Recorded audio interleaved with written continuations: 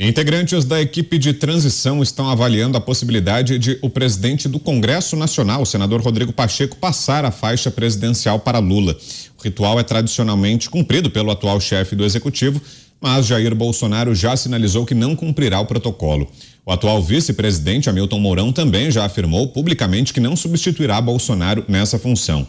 Assim, assessores de Pacheco e membros da equipe de transição buscam como solução que seja ele o responsável por substituir Bolsonaro no ato. Tomé Abduch, começo com você, Tomé. O que acha dessa possibilidade de que Rodrigo Pacheco ocupe o papel do presidente Bolsonaro e passe a faixa uhum. para Lula, Tomé? É, me parece que vai, vai ser esse sim o caminho. Nós tivemos duas pessoas ao longo desses últimos anos que foram muito nocivas ao Brasil.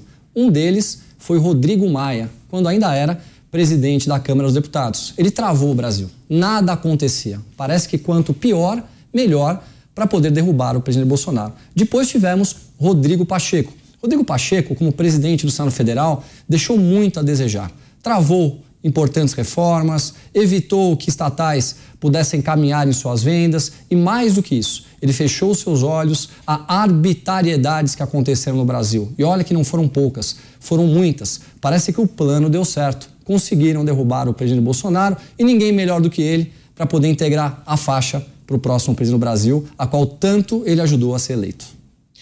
São muitas dúvidas ainda no ar, né? Roberto Mota, essa sobre a qual a gente está falando aqui, como será essa passagem de faixa, qual vai ser o futuro do presidente Jair Bolsonaro, o que vão acontecer nas manifestações que seguem ocorrendo pelo país. A única certeza é que teremos um primeiro de janeiro, depois de ano eleitoral, bem diferente do que foram outros momentos na história, né, Mota?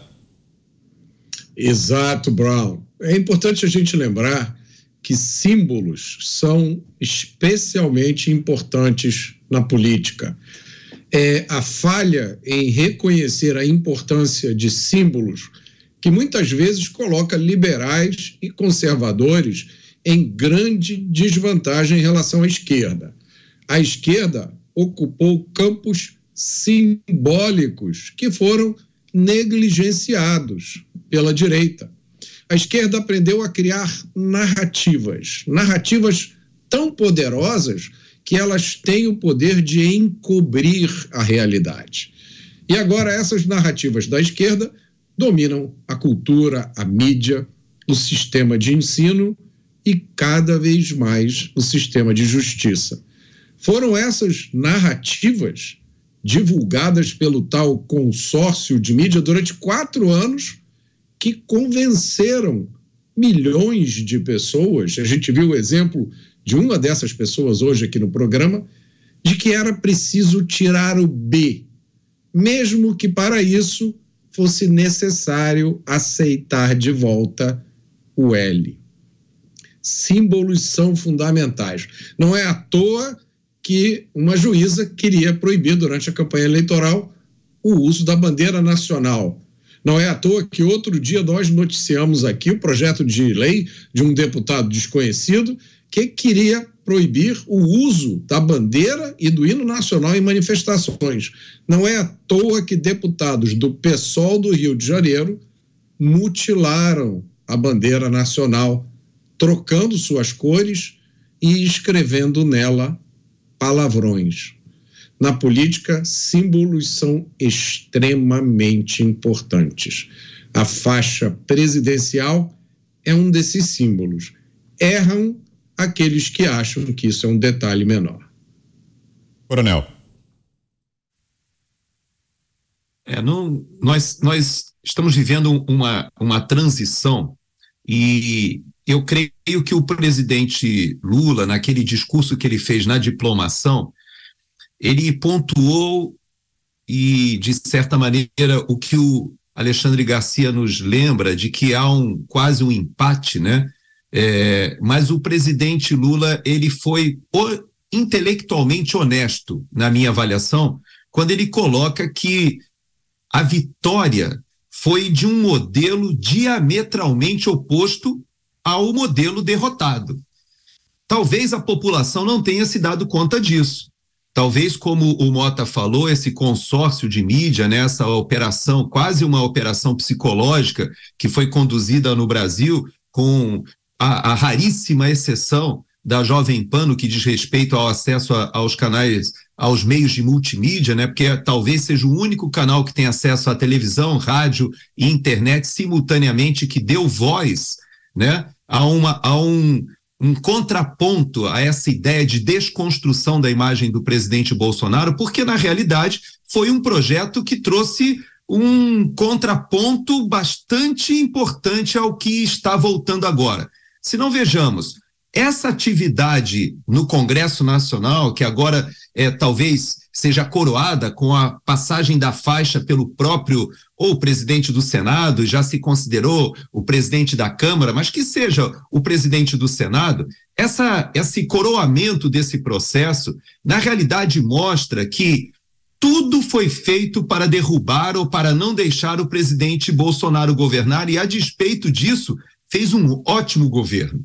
O que nós podemos pontuar, inclusive, é que o ministro Paulo Guedes, ele, de tal maneira, ele acreditava que era mais importante o Brasil que Brasília, porque ele falava mais Brasil, menos Brasília, que quando as manobras foram feitas ali no Congresso, na Câmara dos Deputados, para tal é, é, uma, é, forma de é, agigantar a manipulação do orçamento pelas emendas parlamentares, emendas de relatores, e que isso estava na mão do Congresso Nacional, isso agora começa a ser desfeito porque é o presidente Lula que retorna. Mas no governo Bolsonaro, eles fizeram isso para cercear o poder executivo. Mas veja que interessante.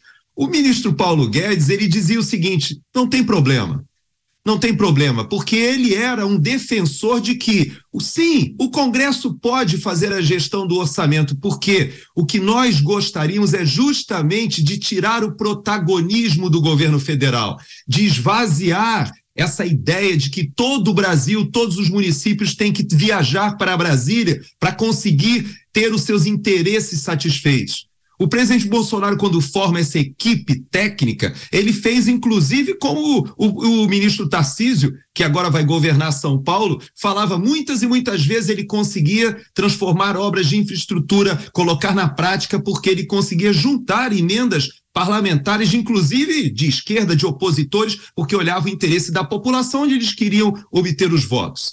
Então, creio sim que nós estamos é, com um presidente insatisfeito, com um presidente que não reconheceu a derrota, como o Alexandre falou, que se fechou, mas porque desde o início ele reconhece que o processo foi injusto e da perspectiva dele ilegal, e por isso ele não concedeu não reconheceu uma vitória que para ele não existiu. Por outro lado, nós temos um presidente eleito e que eu me lembro, inclusive, de um artigo de um amigo que falava daquela carruagem do general romano que era celebrado, e talvez nessa posse a gente possa até estabelecer algum paralelo, mas ficava ali um escravo falando ali na sua cabeça, né? Memento mori, quer dizer, lembra-te que és mortal. E é importante que talvez o presidente Lula, que está num esforço muito grande de tentar consubstanciar aquele plano que fez com Fidel Castro lá atrás, e talvez seja a última chance dele implementar muitas daquelas suas ideias, lembrar que outros ditadores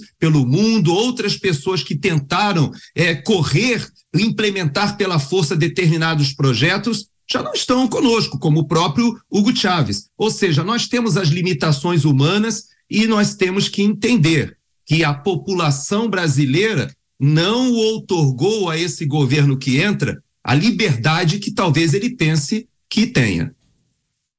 E para você, Alexandre, o que é que significaria esse gesto, essa eventual passagem de faixa pelas mãos do presidente do Senado, Rodrigo Pacheco? que também é presidente do Congresso. Eu tenho certeza de que Rodrigo Pacheco vai adorar. Ele está sonhando com isso, né? tendo sonhos maravilhosos, se acontecer isso. Né? Obviamente que, se Bolsonaro não passar a faixa, eh, Mourão vai acompanhar, e não passa também. Eh, eu assisti a um episódio semelhante quando Figueiredo se retirou e não passou a faixa para Sarney. Ele me contou que discordava uh, acha que foi um golpe, né? porque quem deveria assumir seria o presidente da Câmara, doutor Ulisses, pela Constituição, que convocaria eleições para dentro de 90 dias. Né? Como houve uma decisão do ministro da Guerra, ou ministro do Exército, uh, uh, Leônidas Pires Gonçalves, né?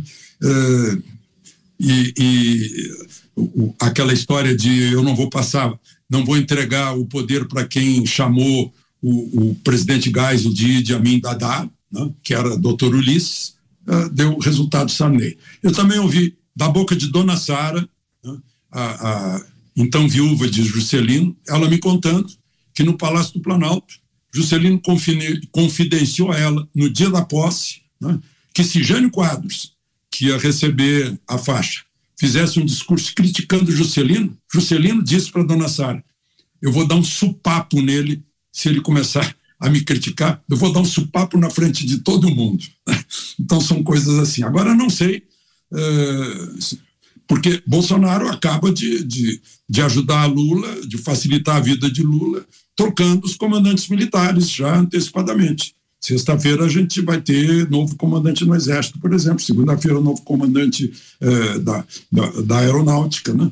Eh, ele não ir à cerimônia, ao simbolismo da faixa, né, significaria deixar bem claro que ele não avaliza o resultado da eleição. Esse é o ponto.